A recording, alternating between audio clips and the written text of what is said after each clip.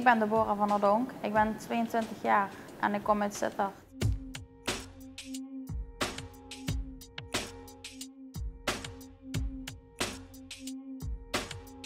In mijn verleden uh, ben ik ziek geweest. Ik heb anorexia nervosa gehad. Dat is een aantal jaar geleden. Op mijn diepste punt woog ik nog 34 kilo. Anorexia nervosa is bij mij ontstaan omdat ik heel erg onzeker was over mezelf. En ik zoek ergens een controle. Dat controle kreeg in het afvallen. Vandaar dat ik constant bleef afvallen en dat voelde voor mij goed. En natuurlijk door emotionele gebeurtenissen is dat allemaal gestimuleerd. En uiteindelijk was ik zo zwak dat ik uh, een, anorexia-patiënt was.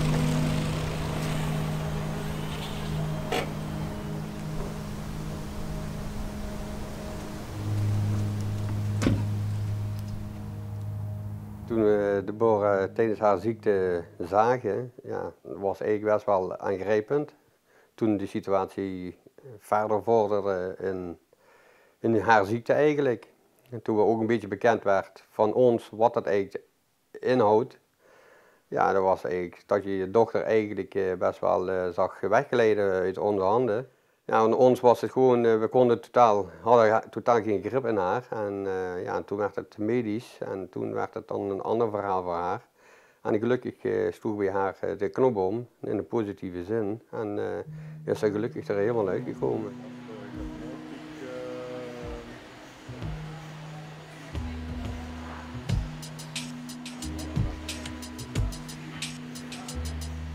Ik ben hersteld door middel van een gesprek bij de dokter. Um, daar werd gezegd dat ik een opname kreeg en als ik nog ziek of ja, nog meer ging afvallen, dat ik dan opgenomen werd in het eh, AZM, dus dat ik uh, intern naar het ziekenhuis moest. En dat was voor mij wel een punt dat ik absoluut niet wilde, want ik wilde niet weg thuis. Mijn familie had het uh, in deze situatie heel erg moeilijk. Ze stonden machteloos. Ze probeerden me natuurlijk wel te steunen en te helpen daar waar ik kon. Maar automatisch duwden ze me gewoon verder weg, omdat ik de controle over mezelf wilde hebben. En dat kreeg ik niet. En, maar ze probeerden me natuurlijk wel te steunen in hetgeen waar ik, uh, waar ik ze nodig had.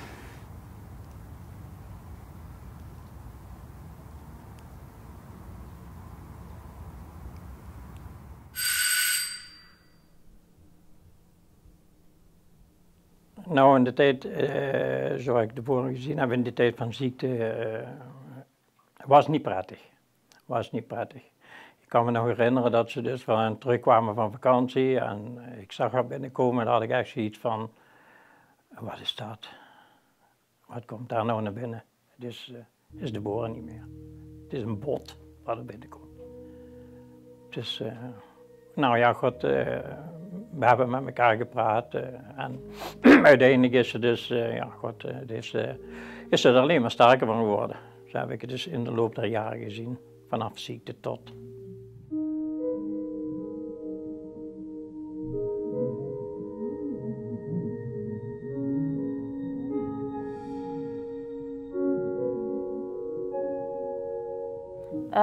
motivatie om te herstellen, eigenlijk om uh, weer een normaal leven te kunnen leiden. En uh, daarbij was, ja, ben ik eigenlijk mezelf voor de motivatie. Ik ben de motivatie zelf eigenlijk. Waar ik naartoe wil met het sporten is um, nu gewoon een gezonde levensstijl pakken eigenlijk voor mezelf sporten. En ik dat gewoon fijn vind en een uitlaatklep is. En ik heb afgelopen jaar twee bodybuildwedstrijden gedaan en daar ben ik goed geplaatst. En dat was mijn doel en dat heb ik gehaald. Ik heb begeleiding gehad naar eh, de wedstrijd toe. Dat is ook wel nodig, want natuurlijk, je moet mentaal goed in je schoenen staan. En je hebt de begeleiding nodig om gewoon realistisch naar jezelf te kunnen kijken. Dus ik heb in de hele periode heb ik een coach gehad en die uh, steunde mij en hielp mij met het trainen en met de voeding. Uh, de weg naar de bodybuildingwedstrijd heb ik heel veel moeten doen en laten. Vooral laten natuurlijk, want je eet anders en je mag alleen maar eigenlijk water drinken in de periode. Dus ik heb een heel klein sociaal leven gehad op dat moment. Ik heb mijn vriendinnen bijvoorbeeld een half jaar niet gezien. Maar uiteindelijk ben ik op het podium terechtgekomen en het was allemaal de moeite waard. Wat de wedstrijd mij gebracht heeft, is uh, eigenlijk heel veel positiefs. Want ik heb naarmate ook heb mezelf leren accepteren. Je leert je lichaam accepteren natuurlijk. En dat is voor mij wel het grootste positieve stukje wat ik voor mezelf heb geleerd. Deborah van der Donk.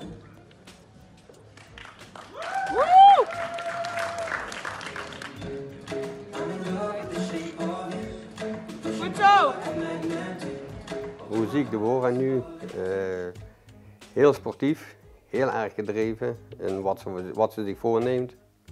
Eh, daar gaat ze ook 110% voor. En, eh, dit is ook niet dat is iets wat haar tegen kan houden, want ze- dreef wat zij heeft, ja, dat is gewoon klasse. Een hele goede, potige vrouw, een jonge meid. Dus ze komt er wel. Daar ben ik niet bang voor. Ik zie Deborah nu tegenwoordig als een, ja, een, een supersterke meid. Ze stelt zich een doel en ze gaat ervoor. Dat is wat ik graag, graag zie en waar ik ook trots op ben.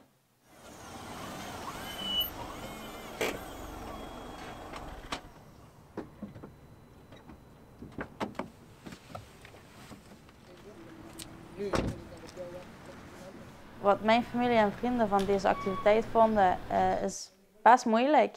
Want aangezien hun niet in de sportwereld zitten, is het voor hen moeilijk te begrijpen waar ik allemaal mee bezig ben geweest. En misschien nog bezig ben. Vooral met name de voeding. Het was toch altijd dat als ik op feestjes kwam en hun waren bijvoorbeeld een stuk vla eten, dat ik kwam met mijn eigen bakje en met een glaasje water. Dat ik eigenlijk altijd tegen al het eten en drinken nee moest zeggen. Dat was voor hen natuurlijk ook wel een beetje vreemd. En als ze leuke dingen gingen doen, dan moest ik weer een training gaan doen. En als ze deden slapen, moest ik ook weer trainen. Dus het was voor hen natuurlijk ook wel ja, best lastig natuurlijk om te begrijpen. Wat ik zelf vind is eh, dat ze soms te diep gaat. Voor mijn gevoel.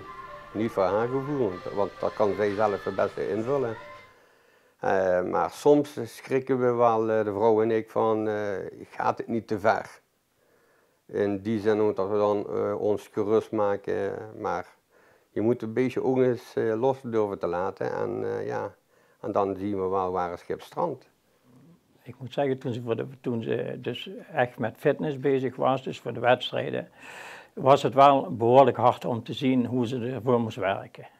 Dus op alle gebieden qua eten en, en, en sporten eh, ging het wel. En ik moet zeggen, ze heeft die wedstrijden heeft ze dus ook gedaan. En ik vond het gewoon fantastisch. Maar van de andere kant ben ik ook wel weer blij dat het achter de rug is.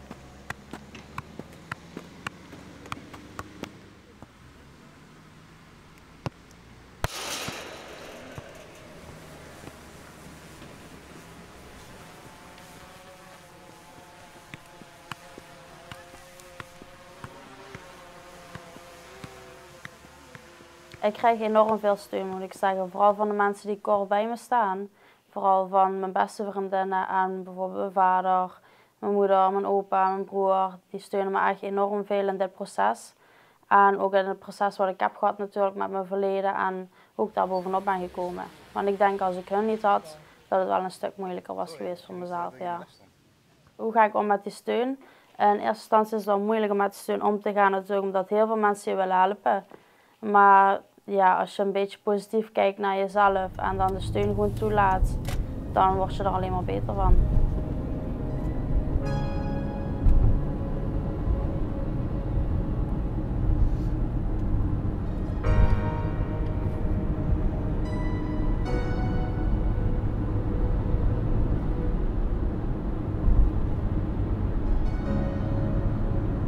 Welke bijdrage ik geleverd heb hieraan? Ik ben in het traject naar de wedstrijd van Deborah toe, in de wedstrijden, ehm, gingen wij s'avonds bijna iedere avond wandelen en in het weekend gingen we vaker wandelen. Deborah heeft in de wedstrijd, eh, voor de wedstrijdperiode bij mij gebokst. Eh, ik doe zelf kickboksen en eh Deborah had heel vaak frustratie in haar en ik zag dat heel erg. En toen ben ik met haar gaan boksen en toen kon ze in een uurtje of twee uurtjes kon ze die frustratie helemaal eruit knallen. En dan was ze een stuk blijer en vrolijker nadat ze bij mij wegging.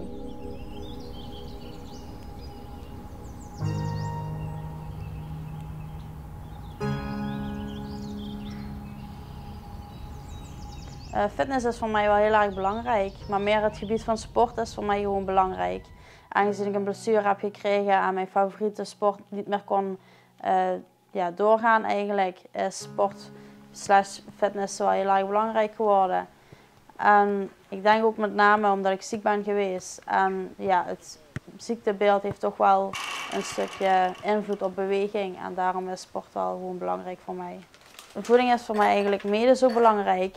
Want als je veel traint, heb je ook goede voeding nodig. Het begint allemaal in de keuken natuurlijk. Want als je geen goede voeding hebt, zul je ook geen resultaten zien. Je lichaam heeft voeding nodig en ook dat weet ik mede dankzij mijn verleden.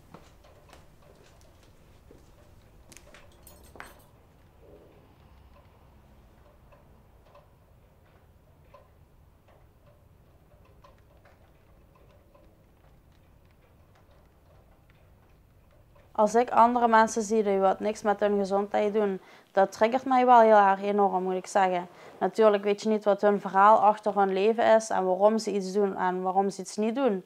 Maar als je ziet dat mensen zich eigenlijk alleen maar uh, focussen op fastfood en niet doen sporten, geen beweging hebben, dan triggert mij dat wel heel erg, omdat ik heel graag mensen wil helpen om een gezonde levensstijl te hebben. Um, de mensen die wat natuurlijk niks aan sport doen en die wat mij dan wel zien sporten, het is heel erg tegenstrijdig, want hun vinden mij natuurlijk ja, niet normaal, omdat ik zoveel sport en zoveel bezig ben met voeding ten opzichte van henzelf. Ik zie Deborah als een zeer energiek persoon. Deborah heeft het woord rust en pauze niet echt in haar agenda staan. Uh, het is ook echt een goede vriendin van mij en we wandelen en wij boksen samen. En uh, daarbij zie ik heel veel energie van Deborah. Maar ik zie ook natuurlijk de andere kant van de Bora. Dus niet altijd de blije kant, maar ook de iets mindere kant. Soms zijn er wel periodes geweest dat de Bora het heel zwaar had. Vooral in haar voortraject en het proces naar een wedstrijd toe.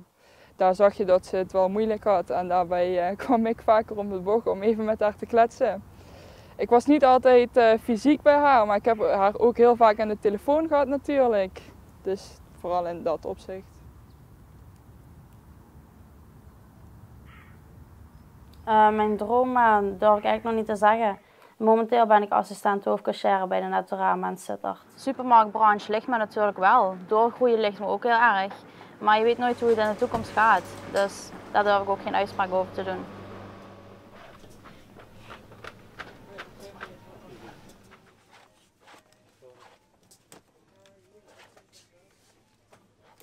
Of ik trots op haar ben? Ja, zeker. Zeker weten. Zoals ik er nou zie, uh, dat, is heel lang, dat is heel lang geleden. Dat is echt heel lang geleden. Het is een prettige meid en ik ben behoorlijk trots op haar. Ik ben uh, duizend procent trots op haar inzet wat zij doet en uh, ja, gewoon een trotse vader. Meer kan ik niet zeggen.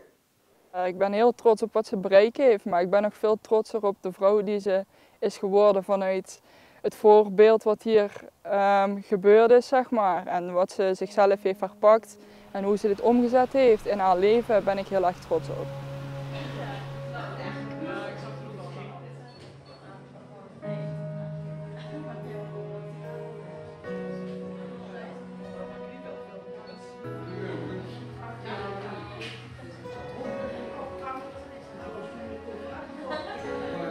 Mijn grootste eh, transformatie is dat ik vanaf het ziek zijn tot nu uh, in feite dubbele ben gaan wegen.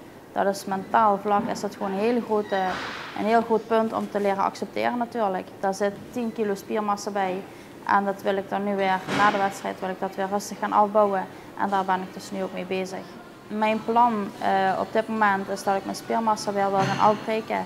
En dat ik weer naar mijn normaal uh, atletisch lichaam wil. Want er staan op dit moment geen wedstrijden meer op de planning. Ben ik ook niet van plan. En ik wil gewoon weer genieten van het leven en mezelf kunnen zijn en mezelf accepteren. Je zit gewoon. Oh. Wat een toeschil, in de hoek. Ik met Limburgs praten. Wat ik graag wil zeggen tegen de lotgenoten van mijn verleden, dat ze moeten vechten, want het leven is zeker waard om door te gaan. En alle steun die je kunt krijgen, dat je dat ook aanpakt, maar vooral nooit opgeven.